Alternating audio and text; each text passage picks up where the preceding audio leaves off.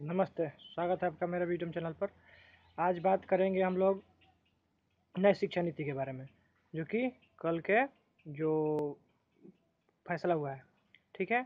उसके बारे में बाद जो फ्रांस से राफेल जो विमान आया है, वो कल पाँच ठो आ गया है, उसके बारे में भी थोड़ा सा बात करेंगे। लेकिन जो सबसे इम्पोर्टेंट होने वाली बात है, वो है नई शिक्षा नीति के बारे में।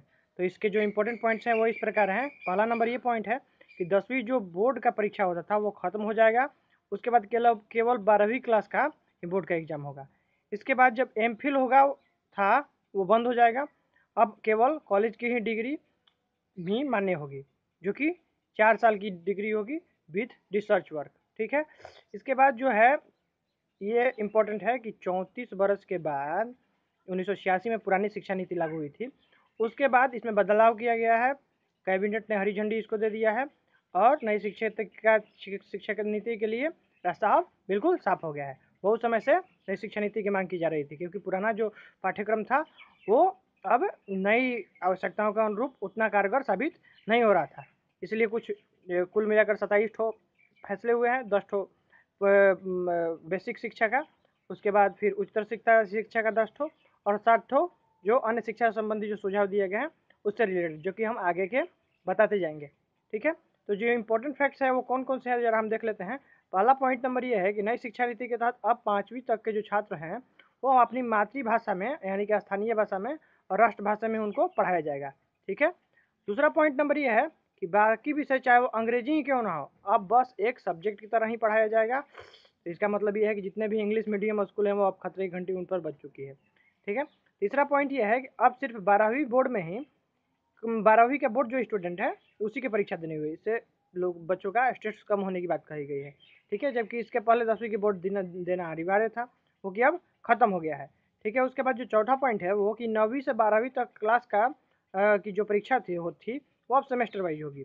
ठीक है शिक्षा को पाँच प्लस तीन प्लस तीन प्लस चार के फार्मूले के तहत अब पढ़ाया जाएगा इंपॉर्टेंट पाँचवा जो पॉइंट है वो ये है कि वही कॉलेज की डिग्री मान्य होगी। ठीक है अगर आप स्कूल छोड़ भी दे रहे हैं एक साल पढ़ के, दो साल पढ़ के तो उस पर भी पहला साल अगर पढ़ करके आप निकलते हैं तो आपको सर्टिफिकेट मिलेगा। अगर ग्रेजुएशन डिग्री में दूसरा साल पढ़ के आप निकलते हैं तो आपको डिप्लोमा की डिग्री मिलेगी। अगर आप तीन साल पढ़ते हैं तो आपको एज ए ग्रेजुएट आपको डिग्री मिलेगी, ठीक है? अगर आप चार साल का ग्रेजुएशन का कोर्स करते हैं तो आपको एक रिसर्च वर्क के तहत ही आपको मान्यता मिलेगी। उसके बाद आप एक साल के बाद आप ही एक साल में ही एमए कर सकते हैं, उसके बाद सीधे एमए के बाद सीधे पीएचडी में एडमिशन ले सकते हैं। एम को समाप्त कर दिया गया है, और ये फार्मूला अब क्या है कि बिल्कुल लागू नहीं होने वाला है, ठीक है? अब ये क्रेडिट सिस्टम के अंतर्गत आएगा। इसमें सुझाव ये दिया गया है कि जो इम्पोर्टेंट बात है वो ये कि जो अब जो इंटरमीडिएट के स्टूडेंट होते थे, अब कला कॉमर्स और साइंस में तीन ही स्ट्रीम में पहले बटा हुआ था। अब ये होगा नए सिस्टम के तहत कि कोई भी साइंस का स्टूडेंट इतिहास भी पढ़ सकता है, कोई भी कॉमर्स का स्टूडेंट बायोलॉजी भी पढ़ सकता है, और कोई भी बायोलॉजी का स्टूडेंट जो साइंस का है, वो जियोग्राफी भी पढ़ सकता है। इसके बाद खेल कूदों को बढ़ाने की बात कही गई है। रिसर्च से रिलेटेड काम को आगे जो शिक्षा पद्धति है, उसमें लागू करने की बात की एक से पाँचवीं तक की, के जो स्टूडेंट हैं, उनमें भी पढ़ाई का बोझ कम कर दिया गया है। छठा से लेकर के, जो सिक्स से एट क्लास तक है, उसमें भी क्या है कि ग्रेडिंग सिस्टम ये तो पहले ही समाप्त हो चुका है। अब आठ तक के बच्चों के बेसिक शिक्षा, अनिवार्य शिक्षा, अपनी मातृभाषा कल्चर ये सब के विषय में अधिक से अधिक जानकारी हो, नैतिक मूल्यों का ज्ञान हो, इन सबसे रिलेटेड शिक्षा दिया गया है। ठीक है? अब रिसर्च से रिलेटेड वर्क होना ज़रूरी है। अब ये भी है कि नई शिक्षा नीति ऐसी होनी चाहिए कि जो कि महाभारत को एक राष्ट्रगुरु, विश्वगुरु बनाने में कारगर हो। हम पहले भी विश्वगुरु थे, हम पहले से ही विकसित थे ग्यारह सौ बानवे तक, जब तक मुस्लिम आक्रमण यहाँ इस देश में नहीं हुआ था, तब तक हम पूरे विश्व में विश्वगुरु थे। उसके बाद ही जितने भी आए, वो लूटे भारत को। उसके बाद सबसे ज़्यादा भारत का करीब, आज प्रधानमंत्री पाँच मिलियन का बात करते हैं इकोनॉमी बनाने का। आज से, हम एक रिसर्च पढ़े थे, जिसमें अंग्रेज़ यहाँ से इक्कीस मिलियन ट्रिलियन डॉलर यहाँ से लूट करके सिर्फ़ गए हैं।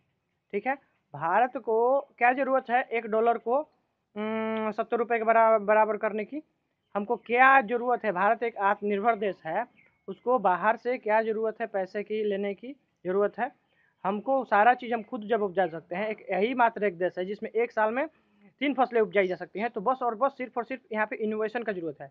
हम अपने हाथ की, अपने गट्टे की और अपने मेहनत की कमाई को खाना पसंद करते हैं। हम किसी के देश पे आज तक आक्रमण नहीं किए हैं, नहीं कहीं से लूटपाट मचाने जाते हैं। हमारी धरती ऐसी है, जहाँ पर सारी की सारी फ़सलें, सारी चीज़ें, हमारी शिक्षा की धरती है। बाहर से विदेशों से यहाँ पे पढ़ने वाले स्टूडेंट आते थे।